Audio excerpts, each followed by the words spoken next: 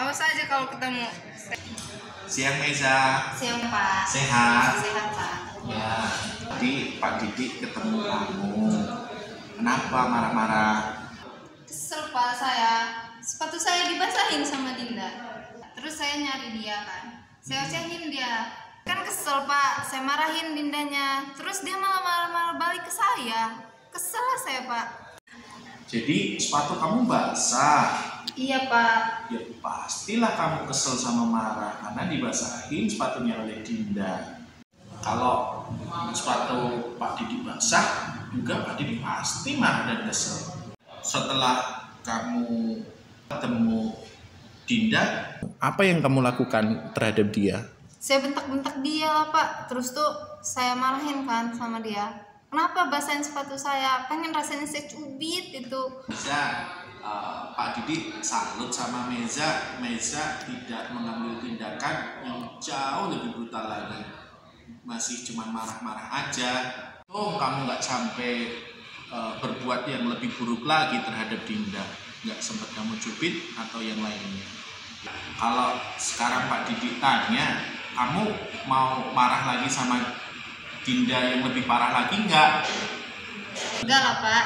Sebenarnya mah capek marah-marah, malu juga diliatin kawan-kawan yang lain. Zah, sekarang Pak Didi nanya, yang kamu lakukan tadi marah-marah kepada Dinda itu bertentangan dengan keyakinan kelas atau prinsip kamu nggak sih? Sebenarnya saya senang berteman Pak dan menghargai orang lain. Tapi saya tuh kesel karena dia tuh kelewatan. Tiba-tiba nyiram sepatu saya sampai basah.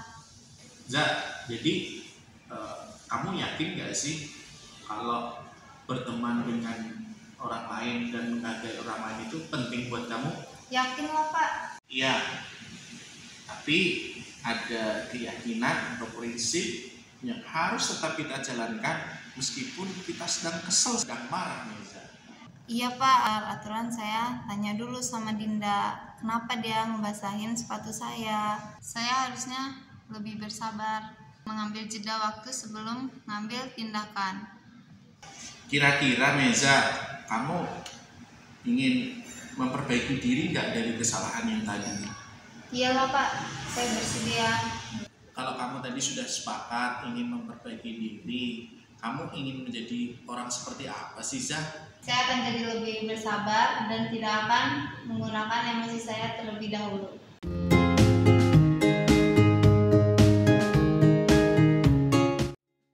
Gimana perasaan kamu saat ini benar-benar dalam posisi salah terus kemudian eh, kamu di diperlakukan seperti itu tadi? Ya, saya senang lah Pak. Seandainya saya di posisi salah, saya lebih dihargai, diajak diskusi dulu masalahnya itu gimana. Karena Dinda Dinda kan tadi ikut terlibat juga dalam eh, pengambilan video ya.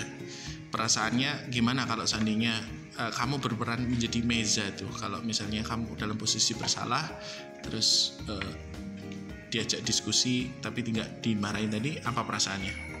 Ya, saya senang lah Pak, seandainya saya jadi yang bersalah, saya tidak langsung dimarahi tanpa alasan, saya diajak diskusi untuk menyelesaikan masalah itu. Menurut kalian tadi yang paling berkesan dari pengambilan video tadi?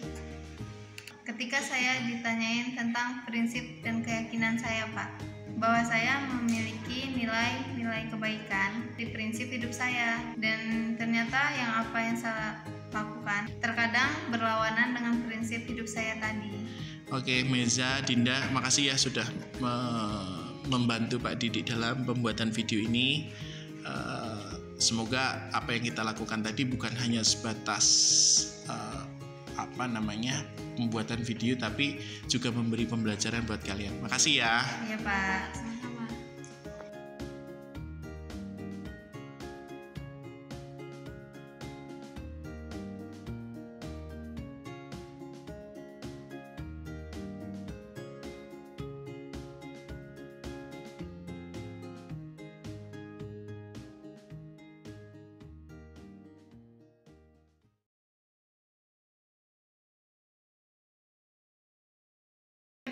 Udah ya, Din kamu ngapain lihat dulu kaget dulu gitu. Iya pak enggak. Ayo. Liza saya salut sama Pak Didi. Eh